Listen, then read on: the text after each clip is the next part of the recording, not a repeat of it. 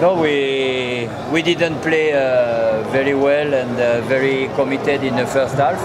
The second half was uh, better, very good. We have uh, some opportunity to score. huh? We dominate the second half, but uh, we miss the we miss the first half. It is our mistake today. Karibuni kwa maswali. Yes, coach. Uh, sorry for the rules match today. Uh, but I need sorry for the match today. But I, need to know uh, consecutive five match Simba against Yanga. Simba not get uh, good result for you. When I see when you're playing today, what's the causes so far? Simba we, uh, we have more confidence or No, I uh, don't think I don't play the, the last match, but uh, what I can say uh, today we are very sad. Firstly, because uh, we could win the league today in front of our fans in a big match. We are very disappointing for our fan. I don't know, but uh, like I say, uh, uh, the the beginning of the match, even the first half, eh, 30 minutes, we were. Uh, we were no no present.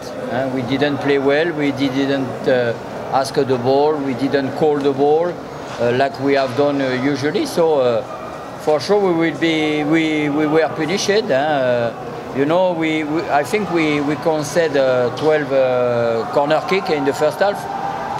Is uh, it is the first time. So uh, I don't know. Maybe. Uh, maybe uh, I make some mistake in the preparation of the match. I am the coach. I have uh, I have to, to take my responsibility. Swali la. Yes. Naomba unisaidie kumuuliza mwalimu kwa Kiingereza kwamba me- mechi yake ya kwanza ya dabi, lakini amepoteza mchezo. Je, alitegemea Yanga wangecheza kama walivyocheza mechi ya leo na kupoteza kwa goli moja kwa sifuri? Yeah, he's asking, it's your first derby and uh, unfortunately you lost the game. Uh, did you expected Yanga to play in this way? Yeah, yeah, completely. Uh, we we watch the many many match of Yanga. We expect this uh, this system for sure. huh? What I didn't expect it is the, the beginning of uh, Simba match. huh? Uh, like I say, uh, we make some mistake. Uh, we, we didn't enter very well in the match. huh? We we waited the second half. The second half was very good, but uh, it is not a win today. And uh, the, the next match against uh, KCM uh, will be very important to, to win the league. Swali la mwisho. Asante mwalimu.